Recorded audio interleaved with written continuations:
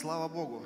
И сегодня с вами мы а, услышим истории людей, в чьих жизни а, Бог являл свои чудеса, а, в чьих жизнях Бог, Он воскрес, и Он живой. Аминь. Слава Богу. И Библия также называет Иисуса Христа агнцем.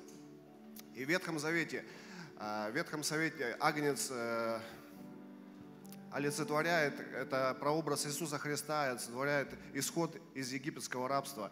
И, а в Новом Завете также а, агнец Божий, он, а, это, это тот, который заплатил цену за каждого из нас, да, за наши грехи. Аминь. И он зашел на крест, и мы с вами имеем спасение, мы с вами имеем искупление, и мы имеем жизнь вечную. Аминь. Слава Богу. И также а, Писание, Библия говорит и называет нашего Господа львом от колена Иудиных. А, Он не просто, не только агнец, но он также и лев, который сражался за нас, который а, был силен в своей силе и сразился за нас и победил. И об этом мы сегодня будем петь также в наших песнях и прославлять нашего Господа. Аминь. И у нас есть нужды, я хотел бы, чтобы мы помолились также за нужды коротко. Дорогой Господь, мы благословляем каждую нужду, каждое опоясание во имя Иисуса Христа. Просим, Господь, чтобы Твоя сила, Господь, она была, Господь, на э, каждом опоясании во имя Иисуса Христа. И мы провозглашаем каждую нужду, восполненной по богатству Твоему славе Христом Иисусом. И благодарим Тебя за все. И отдаем Тебе всю славу, всю хвалу и всю честь. Во имя Иисуса Христа. Аминь. Аминь. И давайте вместе скажем, Христос воскрес! Аминь. Аминь.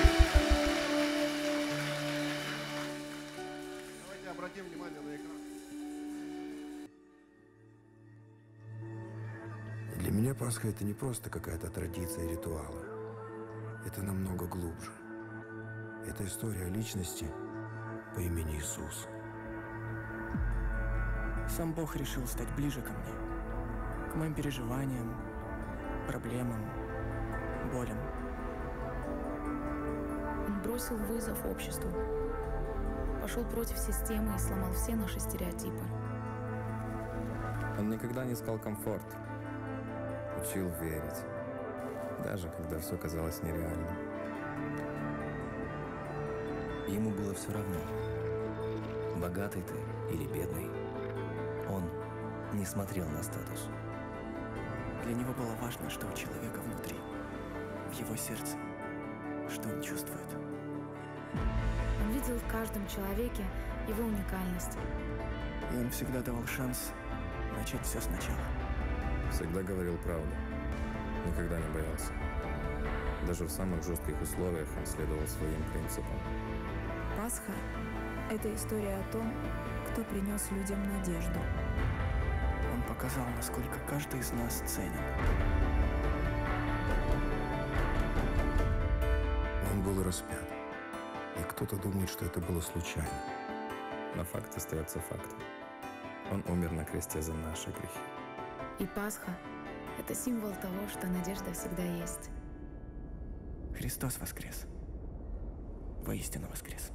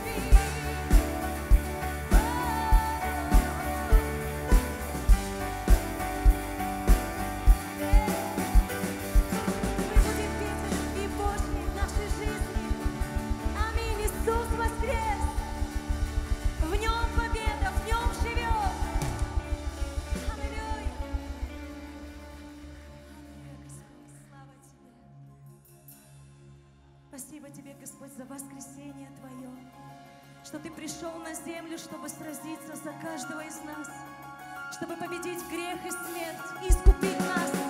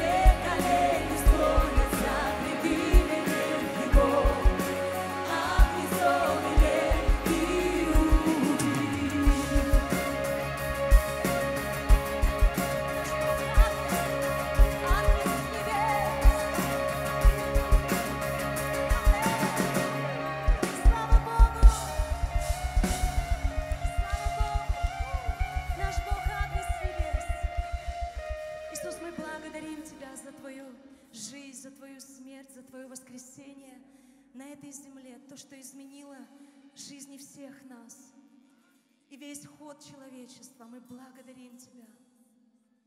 Спасибо Тебе, Господь. Аминь.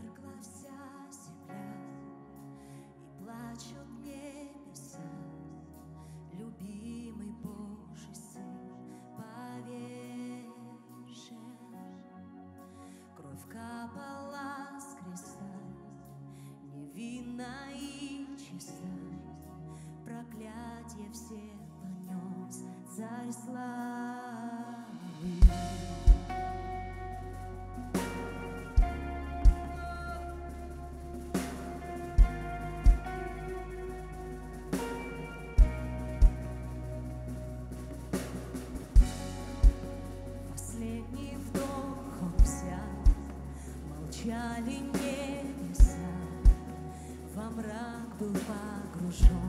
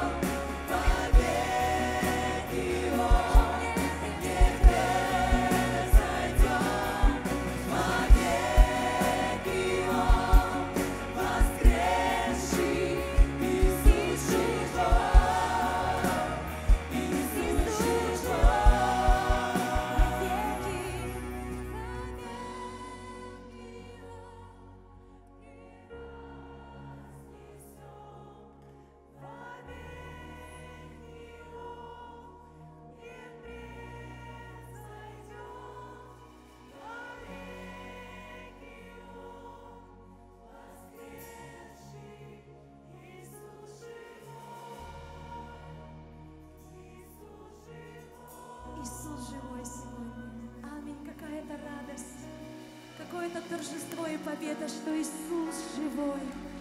Аминь. Аминь. Давайте мы дадим большие аплодисменты нашему Богу. Он жив. Он жив вовеки.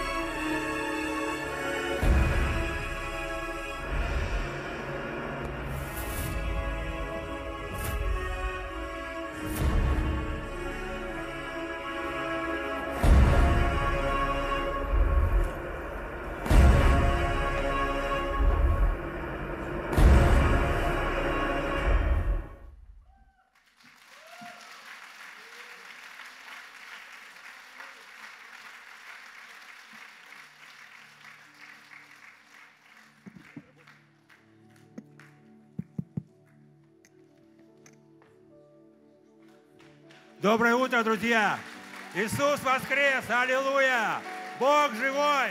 И Он воскрес для каждого из нас. Вы знаете, даже трудно поверить, что некоторое время назад для меня лично вот эти слова «Христос воскрес, воистину воскрес» было такое праздничное, доброе приветствие. Христос воскрес, воистину воскрес. И я никогда не задумывалась, что это такое. Когда в нашу жизнь пришел Иисус, 14 лет назад мы столкнулись с проблемой. Э, Наша дочь, она потребляла наркотики. Мы не знали, как с этим справиться. И мы знаем на сегодня, что если бы не Бог, то то, что есть сейчас в нашей жизни, этого не было сто процентов. И знаете, вот э, есть слово в Библии «спасешься ты и спасется весь твой дом». И вот за эти 14 лет мы видим, что уверовала одна семья, а сейчас три семьи. И вы знаете, мы верим дальше. Мы верим дальше. Мы верим, что пройдет еще какое-то время. И к этим нашим трем семьям присоединятся еще семьи наших родственников. И, конечно же, семьи наших внуков. И слава Богу за это. Христос воскрес! Аллилуйя!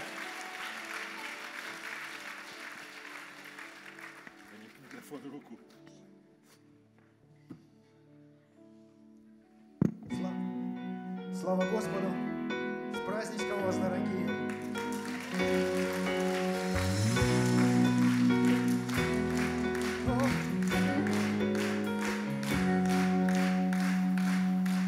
Кто же я, что царя вселенной всей волнует боль моя и мир в душе моей?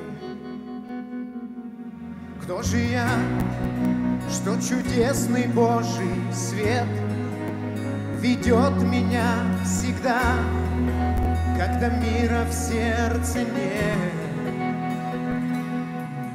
Не за то, что сделал я, но по милости Твоей, не за все мои дела, Ты любовь даруешь мне.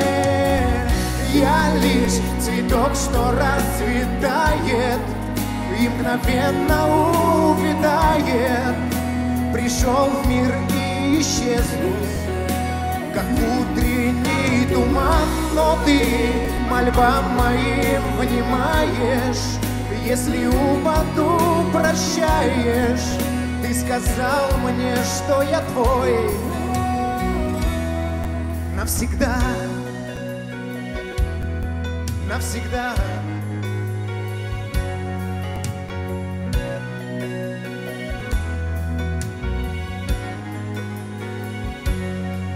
Же я, что всевидящий Господь, простив мои грехи, дарует мне любовь?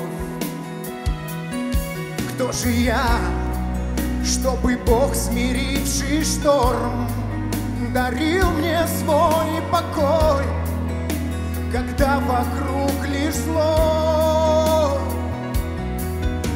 За то, что сделал я, но по милости своей, не за все мои дела, ты любовь даруешь мне. Я лишь цветок, что расцветает и мгновенно увядает. Пришел в мир и исчезнул, туман, но ты мольбам моим внимаешь. Если упаду, прощаешь, ты сказал мне, что я твой навсегда.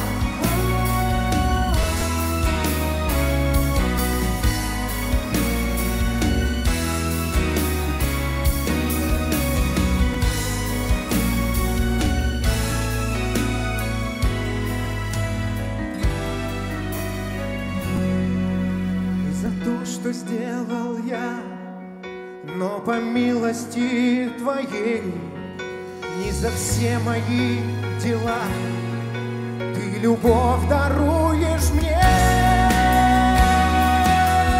Я лишь цветок, что расцветает и мгновенно увядает. Пришел в мир и исчезнул, как утренний туман, но ты мольбам моим. Если упаду, прощаешь, ты сказал мне, что я твой навсегда.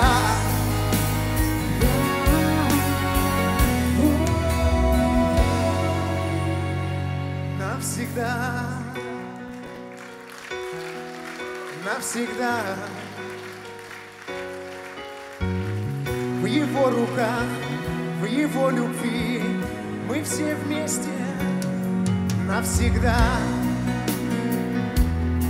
навсегда.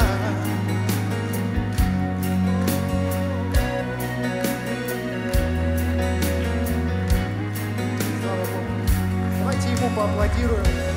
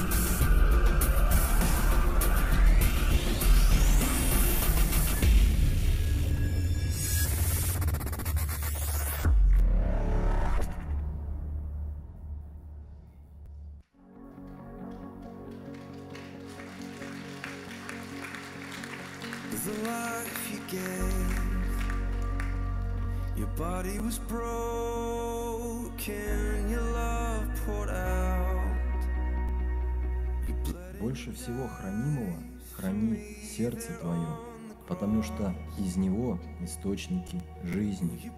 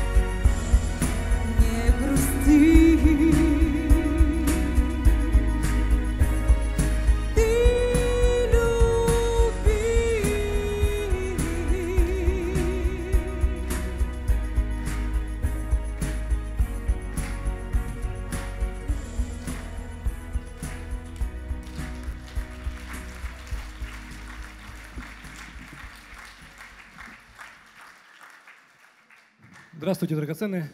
Христос воскрес! Аминь, аминь, аминь.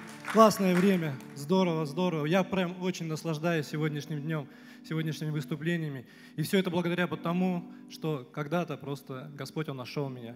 Когда-то Господь, Он вошел в мою жизнь, вошел в мое сердце. Я был в определенных проблемах, находилась моя семья.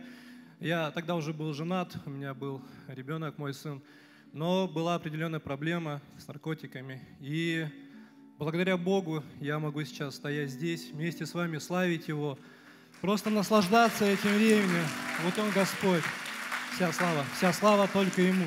Вся слава только Ему. Я просто, с вашего позволения, буквально одну минуту расскажу немного о том, что же именно э, Господь произвел во мне, что же именно Господь, Он просто подарил мне, благодаря тому, что Он нашел меня. Я находился в реабили- в реабилитационном центре, э, и уже к этому времени супруга, она просто сказала, что я не хочу, чтобы наш сын видел такого отца.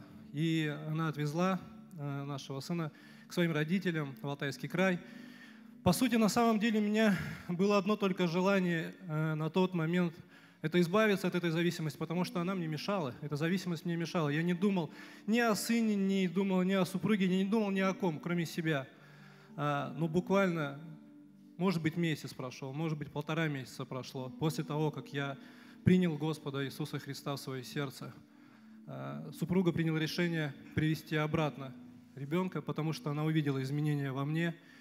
И вы знаете, когда он заходил, когда вот как раз получалось, я там что-то рассказывал за кафедрой, и заходит мой сын, я просто ощутил те изменения в моем сердце, в моем мышлении, как сильно я люблю своего сына, как сильно я люблю свою жену. Я ощутил это в тот момент, когда они заходили. И это ощущение, оно живет по сей день. И, понимаете, оно греет меня, потому что на тот момент тогда я понял, что действительно сейчас я изменен благодаря Его крови. Спасибо большое.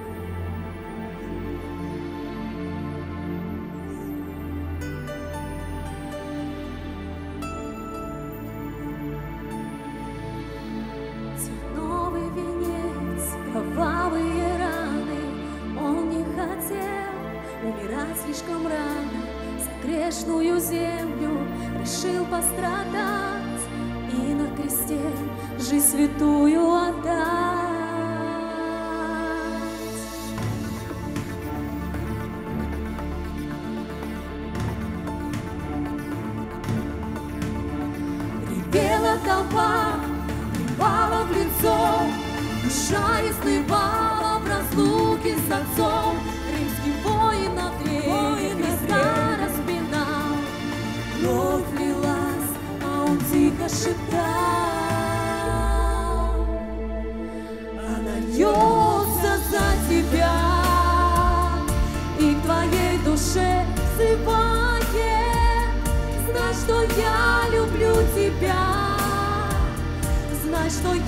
Тебя прощаю.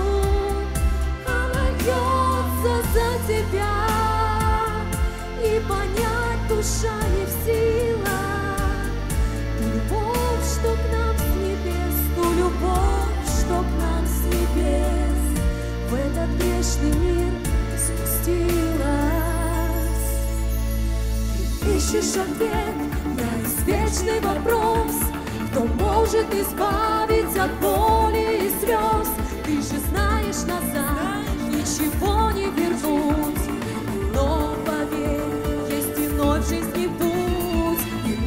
прошу, свой взор подними, и Богу живому скорее обратись. Он любит, он ждет, он тебя искупит. И на кресте кровь святую пролил. Она льется за тебя, и твоей душе взывает. Знай, что я люблю тебя, что я тебя прощаю.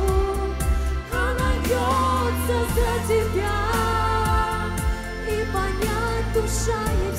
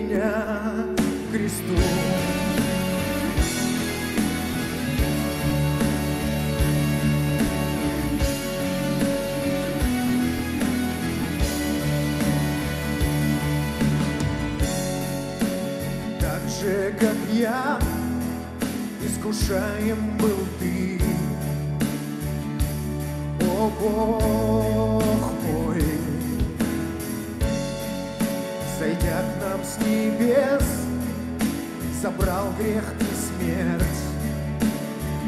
Ты воскрес, что раньше было ценно для меня, не значит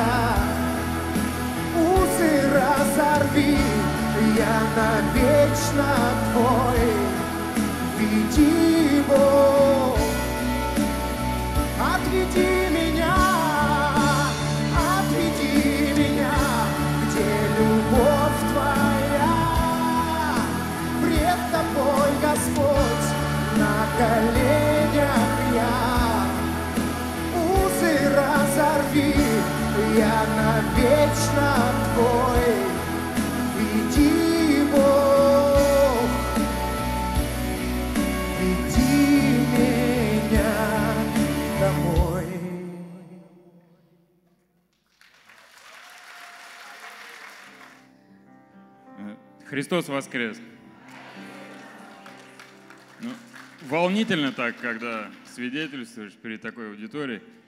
А, ну, мы хотим засвидетельствовать а, действительно чудо Божие, когда а, Бог исцелил меня и наградил нашу семью, в последующем скажу, какими подарками. То есть в 2013 году у меня врачи диагностировали рак. Э, Это, ну, такая шишка была на губе, то есть ну, э, диагноз был саркома лицевой кости. То есть э, диагноз, с которым люди, то есть, ну, когда я зашел к врачу, врач сидел глаза вниз, медсестра плакала, и, и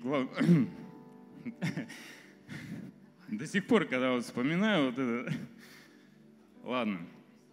Ну, когда тебе говорят, что ты в расцвете сил, э, как бы ты уже должен умереть, это вообще такое накладывает на тебя такие сентиментальные ноты. И мне сказали, говорят, ну слушай, ну все, то есть завязывай уже и жить, и все такое, то есть как бы прекращай уже, то есть все свои активные действия, готовься. И все анализы, которые мы ходили, сдавали, они, вы знаете, ну, у обычного человека анализы проходят в каких-то лабораториях. Наши анализы все проходили в морге. То есть все вот эти вот, куда не идешь, везде гробовые доски стоят. Я говорю, ну нормально вообще. И э, знаешь, когда э, тебе, не дай бог, конечно, но когда в какие-то вот э, моменты говорят такие вот вещи, какой-то диагноз или что, с этим диагнозом входит страх в человека. И этот страх, главное, не дать ему вот осесть в тебе, не дать пустить корни. И благо, что в тот момент э, я до этого проходил реабилитацию э, от наркотиков. Бог меня, еще одно свидетельство, освободил от наркотиков.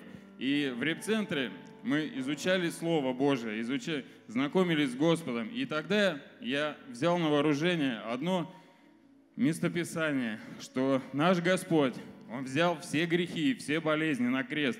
И это не просто слово. И действительно, знаете, я пропитался этим, я встал на это обетование, на встал, встал на это слово. И решил для себя, что если в Библии написано, значит так оно и есть. Если нет, значит это все вранье. Но так как я знал, что Бог меня освободил от наркотиков, значит это так и есть. Встал и стоял на этом, вопреки всему.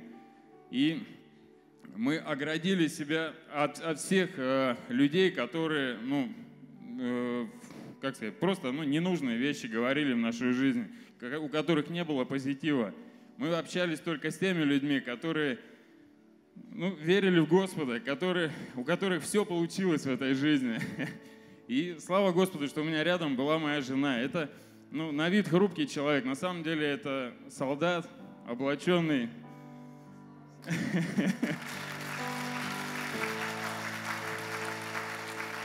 Она не просто молилась, она действительно, она повелевала, она просто, она угрожающая для сатаны, просто оружие.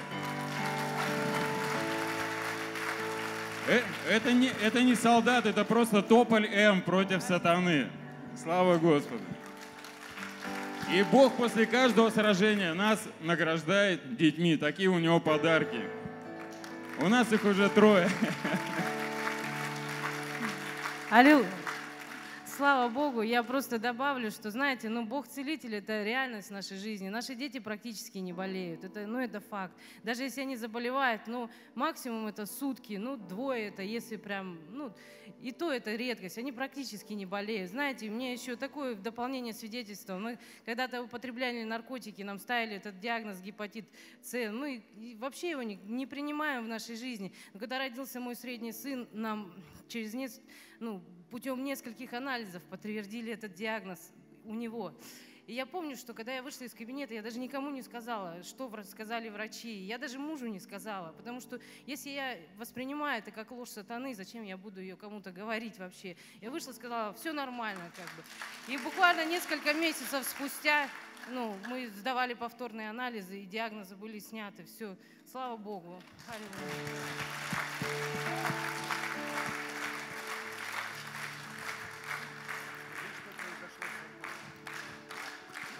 Извините, самое главное, что э, действительно пастор сказал, что действительно о результате. А врачи диагностировали, что сама опухоль и весь диагноз просто, ну, аб абсолютно, то есть исключили его, то есть вырезали мне, э, ну, правда, вырезали часть лица, но это дело пятое, это как бы меня вообще не волнует, на самом деле. Мне сделали шикарный протез, который подошел с первого раза, это вообще редкость такая, то есть хоп и все, и все классно, понимаете?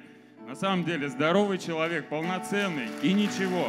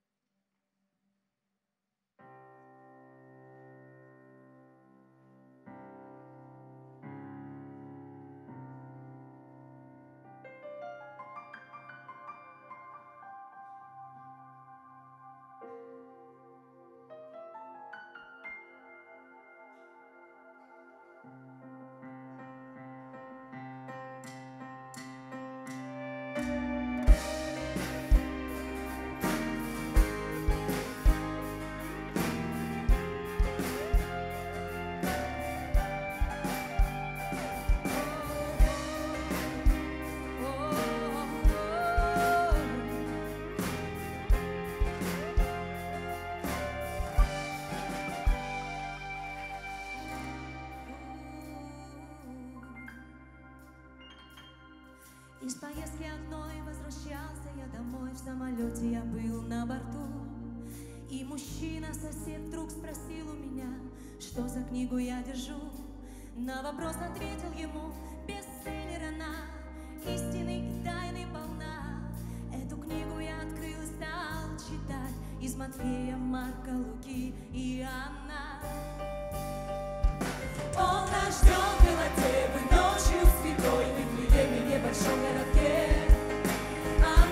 пришли, чтоб петь ему хвалу Ликовали звезды о заре По воде он ходил, хромых исцелял Глаза слепых. Он мог открыть Впервые мир узнал о том, что Бог, Он другом может быть. Не согрешил он ни в чем, живя на земле. Толпа кричала распни Тогда на крест он пошел и умер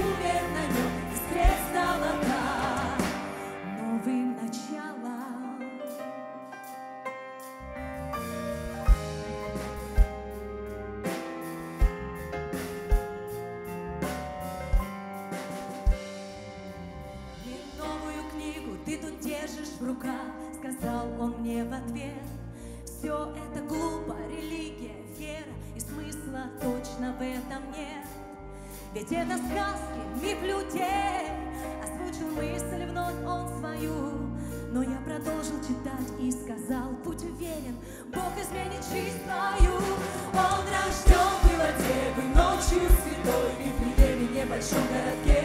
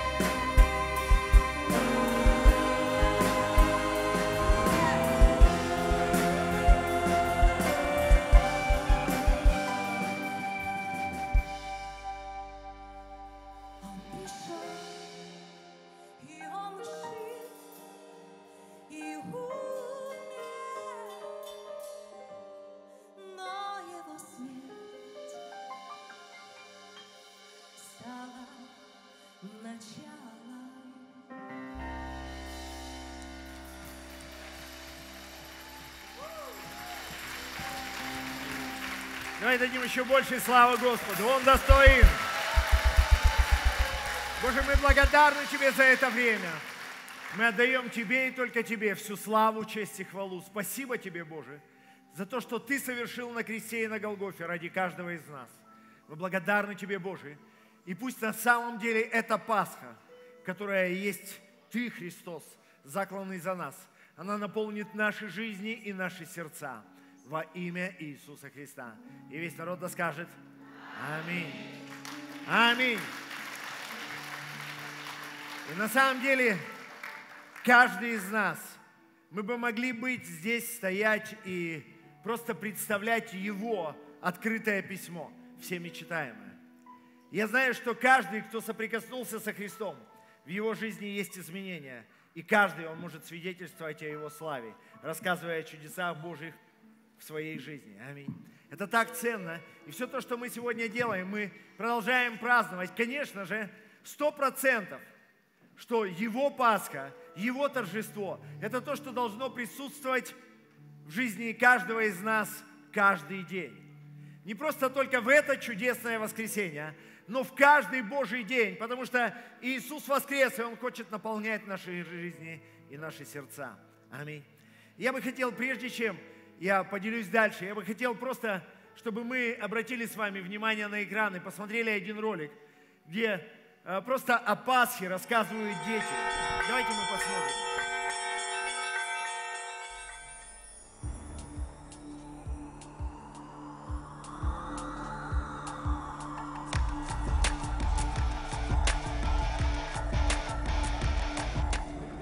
Многие люди считают, что праздник Пасхи – когда просто нужно приготовить много еды, покрасить яйца и напечь куличи.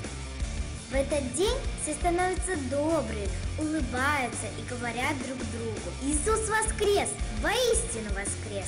Но не все знают, что Пасха – это день спасения для всех людей от рабства греха и вечной смерти. Давным-давно этот праздник начали праздновать в Израиле. Много лет израильский народ находился в рабстве у фараона в земле египетской. Там их заставляли много и тяжело работать, били и никуда не отпускали. Евреям было очень плохо, и они просили Бога, чтобы Он заступился за них и освободил их. Бог услышал их молитвы, жалился над ними и послал к ним своего человека. Его звали Моисей. Он должен был вывести евреев из Египта. Моисей пришел к фараону и сказал, отпусти мой народ, но тот не захотел.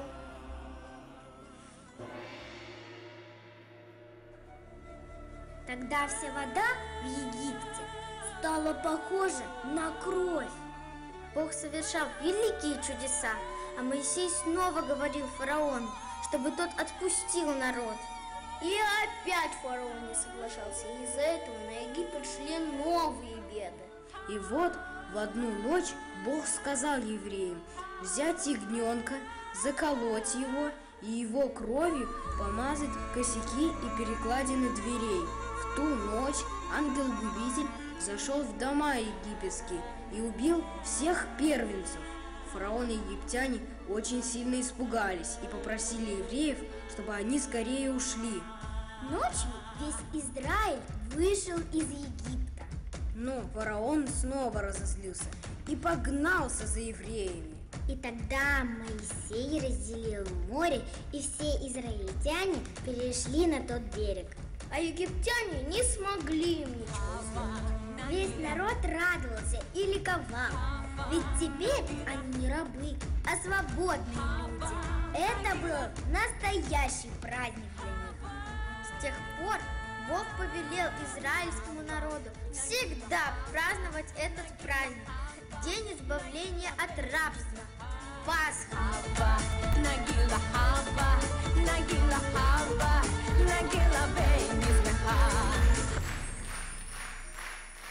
Шли годы и тысячелетия, а люди снова и снова попадали в рабство разных земных царей. Кто-то очень сильно пил, Кто-то жил на улице, кто-то грабил прохожих, а кому-то было все равно. Бог видел, как они страдают, мучаются и погибают, слышал их стоны, крики о помощи и захотел освободить всех людей. Он послал на землю своего Сына, Иисуса Христа, чтобы Он стал их Спасителем. Иисус прожил на земле всего 33 года.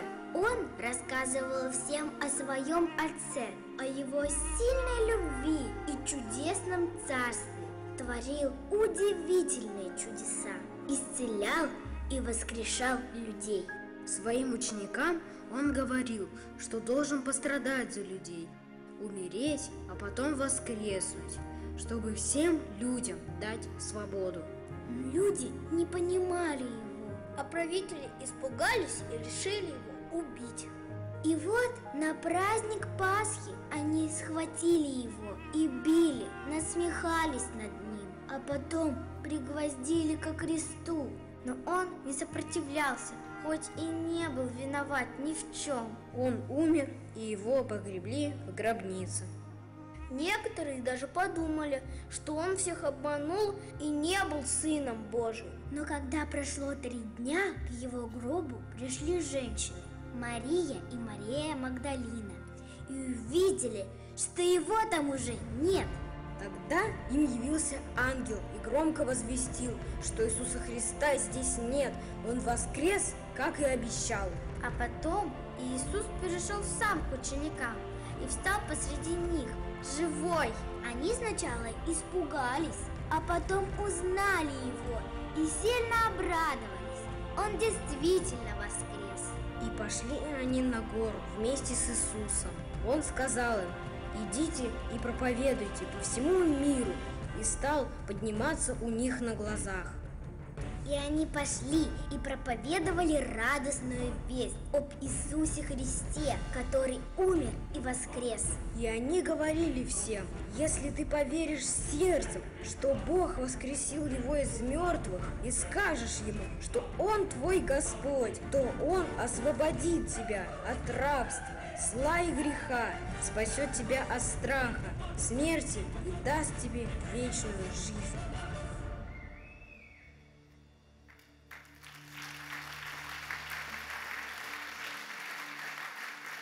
Аминь. Скажи вместе со мной, скажи, Христос воскрес! Христос воскрес! Христос воскрес! Аминь! Воистину воскрес! И Он воскрес! И, конечно же, я уверен, что каждый человек, кто находится в этом зале, вы уже, или мы уже по умолчанию, мы верим, что Он воистину воскрес. И мы празднуем этот светлый и замечательный праздник Пасха Господня, Христово воскресение. И, конечно же, у каждого праздника есть такое простое элементарное понимание, что есть день рождения. Ну, мы знаем, да? Если мы празднуем там еще какое-то, ну, Рождество, мы понимаем, что это рождение Иисуса. Если мы празднуем там какой-то день независимости, мы понимаем, что мы чего-то стали независимы. Но Пасха – это то, что обозначает, что когда-то смерть прошла мимо.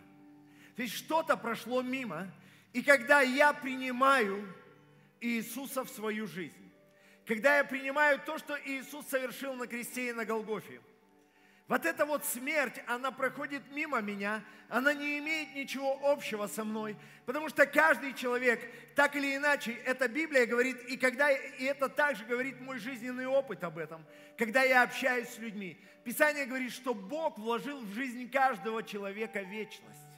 И каждый человек, даже самый, а самый атеистический, атеистически настроенный, он внутри себя, он понимает, что жизнь это не просто что ты прожил, умер, и на этом все закончилось. Нет, внутри себя каждый человек понимает, было бы слишком просто, слишком банально выглядит, если просто умереть и на этом все закончится. И как однажды один человек сказал, что человек живет в утробе матери, чтобы приготовить себя к жизни на земле. И живет жизнью на земле, чтобы приготовить себя к жизни вечной. Мы готовим себя к жизни вечной. Мы готовим Иисус. Знаете, друзья мои, Иисус пришел в этот мир, и Он озвучил, для чего Он пришел. Это в Евангелии от Луки 4 глава, 18 стих. Сказал, «Дух Господень на мне, ибо Он помазал меня благовествовать нищим, послал меня исцелять сокрушенных сердцем, проповедовать пленным освобождение, слепым прозрение, отпустить измученных на свободу, проповедовать лето Господне благоприятное.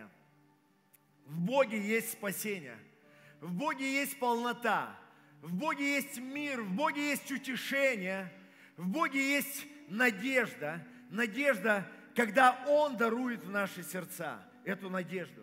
Я помню, как здесь многие свидетельствовали так же, как а, Дмитрий с Еленой, они свидетельствовали с этой э, историей с саркомой, с раком. И мы знаем, что с медицинской точки зрения у, у этого вида рака ну, просто нет людей, которые бы получали исцеление. Но для Бога нет ничего невозможного. Когда мы доверяем Богу, Бог способен совершить чудо в любой ситуации. И, возможно, ты на сегодняшний день, ты находишься в этом зале, и ты пытаешься найти обоснование своей великой проблеме. Я хотел бы, чтобы ты просто нашел великого Бога в, своей, в своем сердце. И Он сможет решить любую проблему. Аминь. Он сможет изменить любые обстоятельства. То, что я вижу, когда, помните, в последней главе Евангелия от Луки, когда двое из учеников, они просто пошли вообще в другую сторону, они пошли в Емаус, вместо того, чтобы ждать обещанного от Бога, они пошли и они встретили Иисуса. Знаешь, когда они увидели Иисуса, они развернулись и пошли в другую сторону. Они вернулись в Иерусалим. Знаешь, так много из нас, мы ходим своими путями – мы ищем чего-то другого в этой жизни и пытаемся найти какое-то другое удовлетворение вместо того, чтобы найти Бога в своей жизни и в своем сердце. Эти я вижу, так интересно, мы можем видеть, это произошло в начале рождения Иисуса, когда Он родился. Помните, волхвы, они пришли для того, чтобы поклониться Ему. Помните? Писание говорит, когда они встретились с Ним, Библия конкретно говорит черным по белому, что они после этого пошли иным путем, пошли другим путем. Так интересно, эти ученики, они когда пошли в Имаус, они встретились с Иисусом, они развернулись и пошли в другую сторону. И когда мы встречаемся с Иисусом, каким образом может ознаменоваться в моей жизни встреча со Христом? То, что я иду другим путем другим путем. Когда я позволяю уже не своей мудрости, не своим, простите меня, похотям и желаниям вести меня по этой жизни. А когда я позволяю Богу, как любящему Отцу, вести меня по этой жизни. Аминь. Поэтому Христос воскрес.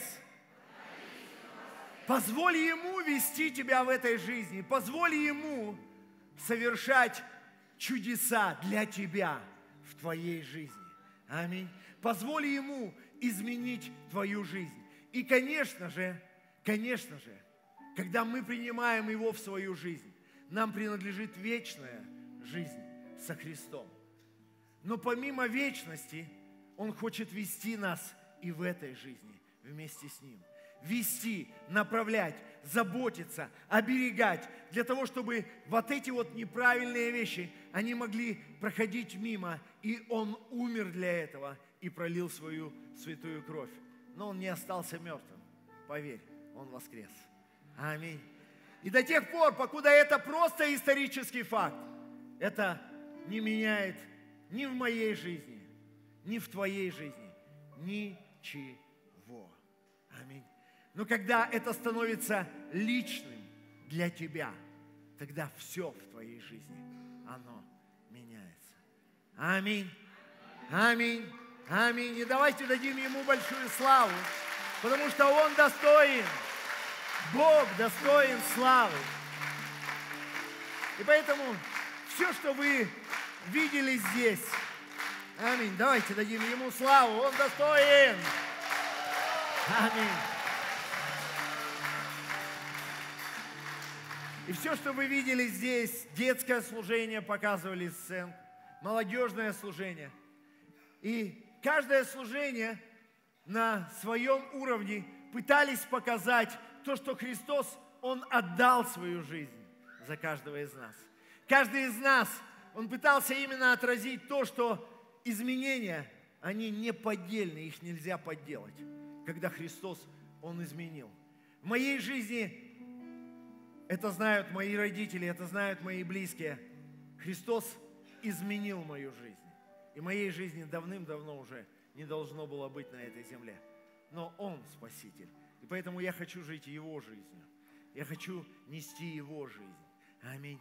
Поэтому все, что мы делали здесь, это мы делали для того, чтобы принести славу Ему и для того, чтобы помочь каждому из нас показать, что Иисус совершил на кресте и на Голгофе. Аминь. И я хочу вместе с каждым из вас, просто как мы сидим, просто каждый, чтобы мы вместе помолились этой молитвой. Хорошо? Давайте мы закроем наши глаза и помолимся. Драгоценный Господь, я благодарю Тебя. Просто повторяйте это вместе со мной. Я благодарю Тебя, что Ты пришел в этот мир ради меня, что Ты умер на кресте и воскрес ради моего оправдания. Я благодарю Тебя, Иисус. И я принимаю Тебя как моего Господа и Спасителя. И я прошу Тебя, веди меня по этой жизни. Направляй меня. И я благодарю Тебя, что Ты принимаешь меня таким, каков я есть. И с этого момента и навсегда я являюсь Твоим детем. Я благодарю Тебя, Иисус,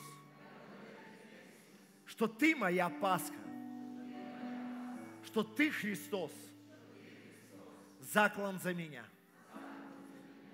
Аминь. Аминь. Аминь. Бог достоин славы. И, конечно же, Бог да благословит каждого. И если вы молились этой молитвой впервые, пожалуйста, поднимите свою руку. У нас есть подарки, не стесняйтесь, просто поднимите свою руку. Если вы молились впервые, да, обратите внимание, дайте, пожалуйста, подарки. Если вы пришли впервые, также поднимите свою руку. Просто, если вы пришли впервые. Просто для того, чтобы получить подарок, нет в этом ничего особенного. Да, просто, ну, не стесняйтесь. Просто поднимите руку, получите, получите подарок просто и всего лишь.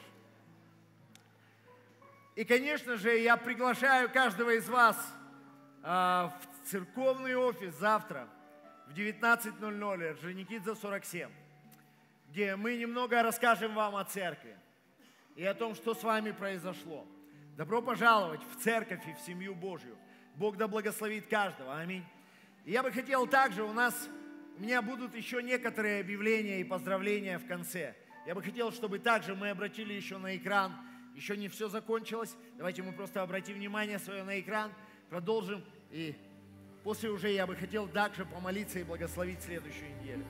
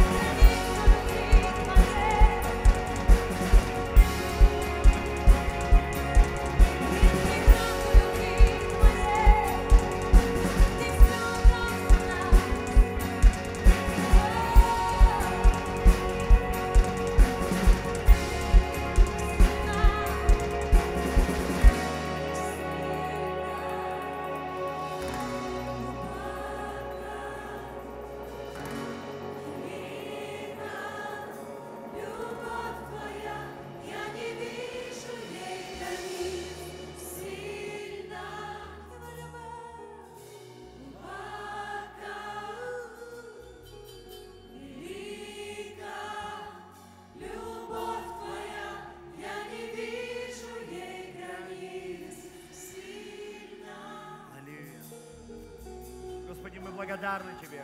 Мы благодарны Тебе, Боже Святый, за Твою любовь, которую Ты изливаешь в наши жизни и в наши сердца.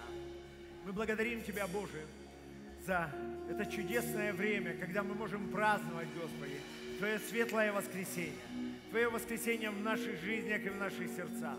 Мы молимся и просим Тебя, Господи, просто наполни наши сердца, наполни сердце каждого этим светлым, светлым праздником, светлым воскресением Твоим, Боже. Мы благодарны Тебе. И я, Боже, молюсь и просто прошу Тебя, благослови каждого, благослови каждый дом, благослови каждую семью, Боже. Яви Твою славу, благослови, Господи, также каждого человека, кто жертвовал, Боже. Просто яви Твою славу в каждом доме и в каждой семье.